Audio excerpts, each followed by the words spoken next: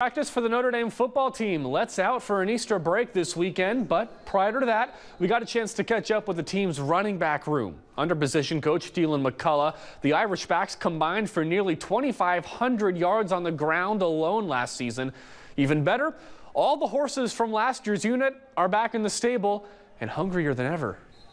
I got the full gamut of what I wanted. I believe I got the best running back group, you know, in the country.